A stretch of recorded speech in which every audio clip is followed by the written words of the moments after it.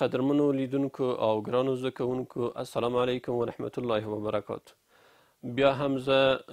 شواندوی سید حمل عصمت ستاسو په چوپړ کې یم او ستاسو سره د اووم ټولګي فزیک لسم درس شریکول غواړم دا چې زموږ د درس موضوع کار او توان او انرژي وه د کار په حق مو په نهم درس کې هم څه نا څه خبرې کړې وي لیکن موضوع یو څه وسعت لري پای ته ونه رسېده غواړم چې همدغه په ادامه باندې زه لسم درس هم ستاسو سره شریک کړم دغه لسم درس چې زموږ ما د کار موضوع مو کار ده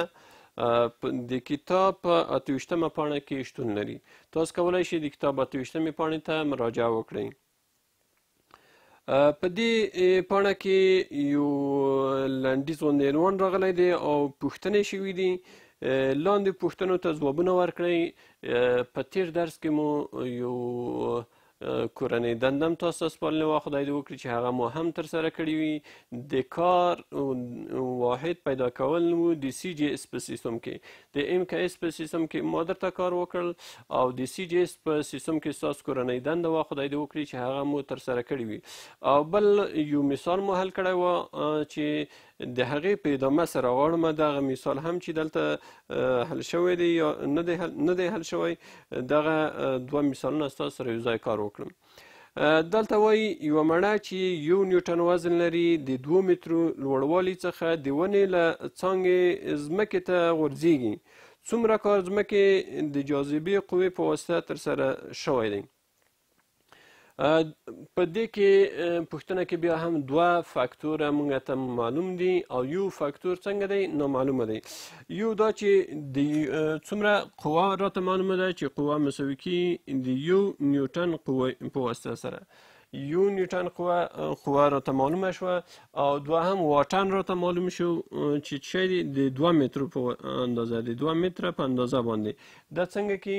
مڼه لویږي د ځمکې د جاذبې د کشش په واسطه سره په دې سره یو نیوټن قوه مصرفي او واټن یې څومره دی د ونې څخه تر ځمکې پورې دوه متره دی تاسو شی پیدا کړئ زموږ نه مطلوب چې دی کار دی کار باید پیدا کړو راځو د کار تعریف مو داس کړی و چې قوه ضرب د فاصله عبارت له څه څخه دی عبارت له کار څخه دی قوه ضرب د فاصله عبارت له کار څخه دی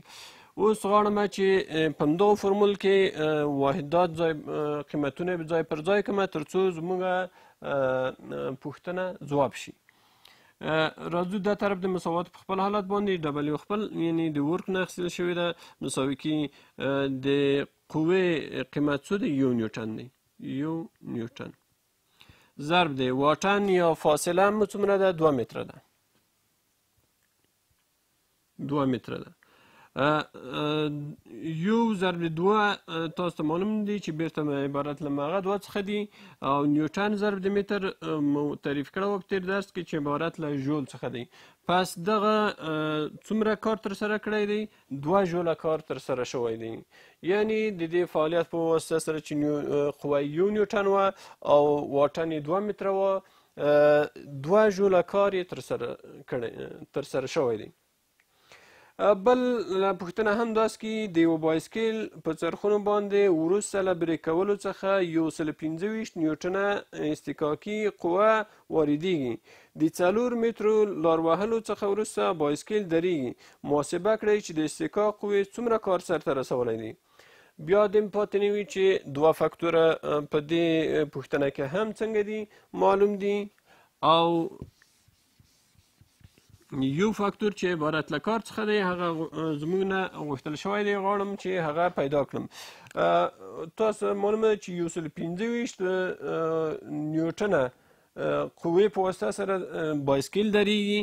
یو سل یعنې قوه معلومه شوه یو سل پنځه ویشت نیوټنه شوه یو هلک دی په بایسکل باندې سور دی غواړي چې یو په یو باندې بایسکل ودروي بایسکل بریک باندې فشار واردوي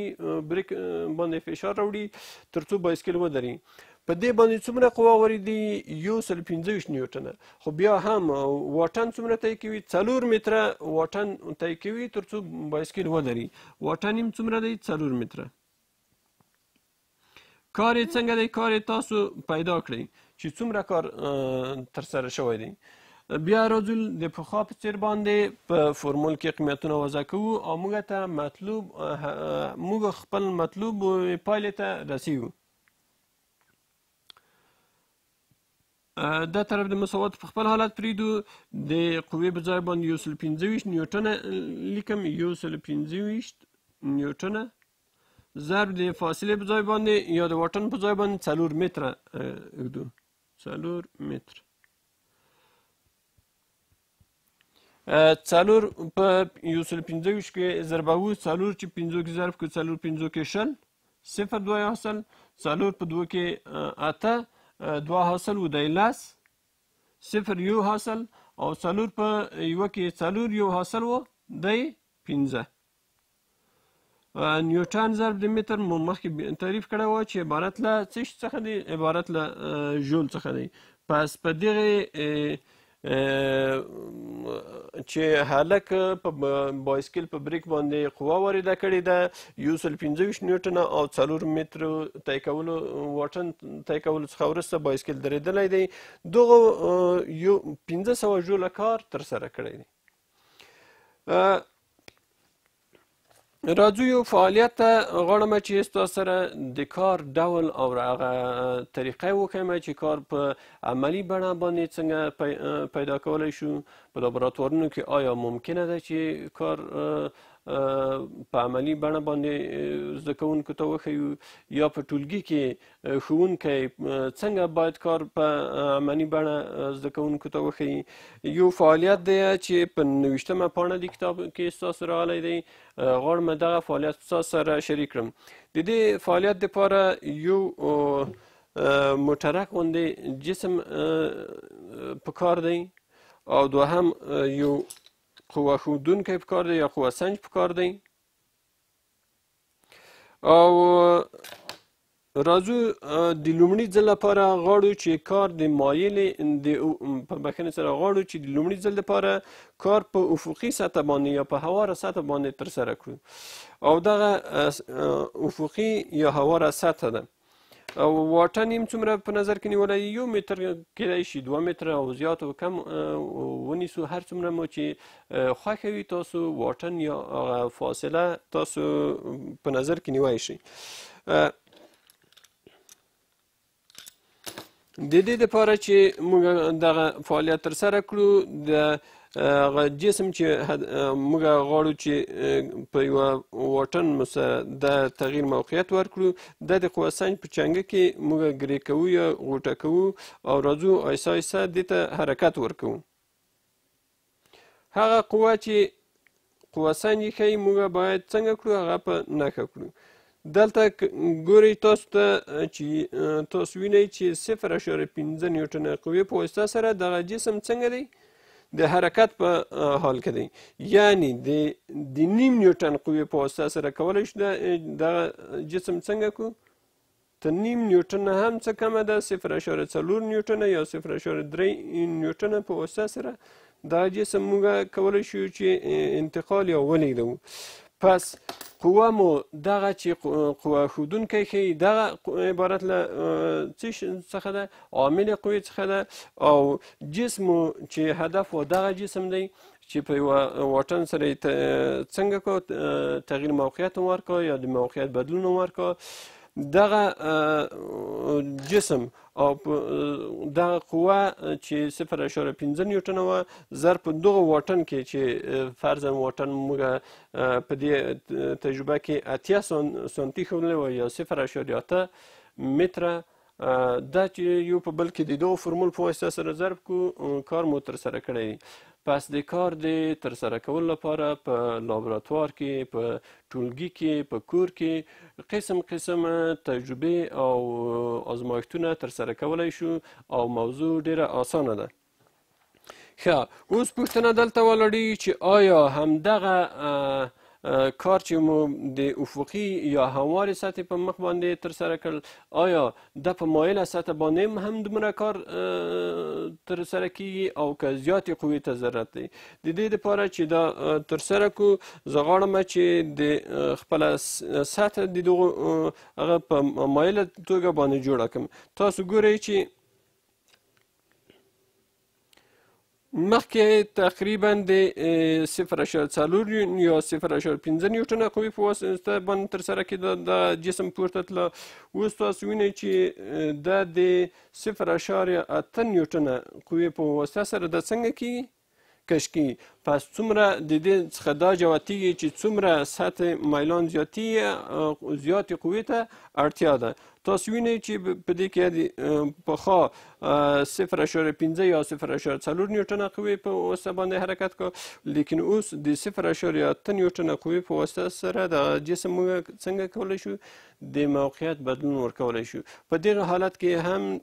وایو چې قوه زیاته مصرف شوې ده د کار هغه عدد چې موږ ته په لاس راځي هغه به زیات کار به تر سره شوی وي یو څو پوښتنې دي چې راځو د فعالیت څخه وروسته تر سره کړم تاسو سره شریک کړم توضیح کړئ چې په کومو لاندنیو برخو کې کار په فزیکي ډول ترسره کیږي یعنی پوښتنې دي لومړی زه ګیلاس له هغه ځایه را اخلم او چای څښم د ګیلاس یا پیالې نقلول په یوې واټن سره بیا کار شو تاسو به حتما وایي د درس د تشریحاتو نه مم په یاد وي چې د یو جسم نقلېدل یا د یو قوې نقلول په یو واټن سره عبارت له کار څخه دي دغه لومړی پوښتنه مو څنګه ده مثبت ده یعنی کار تر سره شوی دی د ګیلاس نقلول په یوه فاصله سره شوی دی دوهم زما کار د زراعتی وسایلو تولی تولیدول دي یعنی هلته هم یو قوه په یو جسم باندې واردېږي هغه په یو واټن باندې لیږدول کیږي حتما تاسو وایي چې دلته هم څنګه دی کار تر سره شوی دی بل وایي چې احمد د زینو د پورته د پورته تللو په وخت کې له ځان سره یو وزن لیږدوي احمد دی که محمود دی که هر څوک دی غواړي په زینه کې جګ شي له ځان سره یو څه نه څه وزن هم اخلي او هغه هم په له ځان سره لیږدوي پس دغه وخت کې هم څنګه شوی دی کار تر سره شوی دی ځکه احمد له ځان سره یو وزن لیږدولی دی چې په هغې باندې قوه وارده کړې ده او واټن یې هم وهلی دی یو تن پر چوکۍ باندې ناست دی یوازې ناست دی شاوخوا ګوري آیا دا د فزیک له مخې کار دی که نه په د درس په تشریحاتو کې مو هم وفرمایل چې دا کار نشي کېدای ځکه کوم داس فعالیت نه دی کړی چې په هغې کې قوه او واټن معلوم شي بل دی جرسقیل یو بار موټر ته لیدوي یعنی جرسخیل دغه په کلی توګه ویلی شو چې ډیره لویه قوه او ډیره لویه کتله کولای شي د جرسخیل په مرسته سره ولیږدول شي پس په دې حالت کې هم کار تر سره شوی دی داسې د دوه نور فعالیتونه چې وروسته پاتې دي د ستاسو کورنۍ د نه درې پوښتنې نور پاتې شوې په دې کې تاسو فکر وکړئ چې آیا د کار تر سره کړی دی او کنه دا به تاسو کورنۍ دنده وي کورنۍ دنده کله کله زه په یو درس کې دوه ځلې هم د ستاسو زده کوونکو لپاره وړاندې کول غواړم هغه د دې لپاره چې تاسو په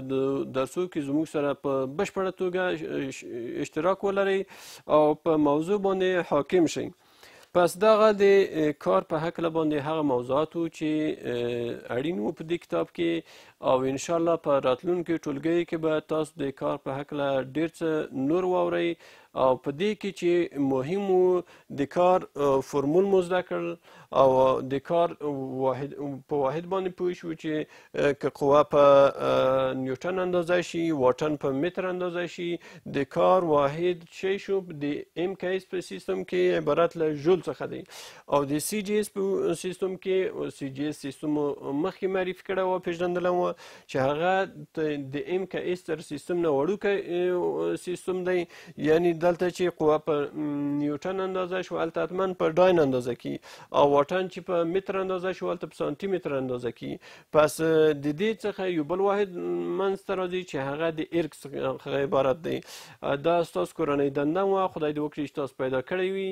ارګ له هغه مقدار کار څخه عبارت دی چې یو جسم په یو جسم په قوه په یو قوه سره یو جسم قوا وردوي په یو یو ډاین قوا وردوي او هغه ته د یو سانتي متر په اندازه باندې د مکان یا د ځای بدلون ورکوي بیا وایم یو ډاین جول مو معرفي کړی و جول معرفي شوی و غواړم چې ارګ معرفي کوم ارګ ارګ د سی جی اس په سیستم کې د کار واحد دی یو ارګ د هغه مقدار کار څخه عبارت دی چې یو داین یو داین قوه په یو جسم عمل وکړي هغه ته د یو سانتی متر په اندازه باندې د مکان یا د موقعیت بدلون ورکړي تر بل درس پورې چې بیا هم زه ستاسو چوپړ ته حاضر یم تاسو په لوی او بخښونکي خدای سپارم ورځ مو نیکمرغه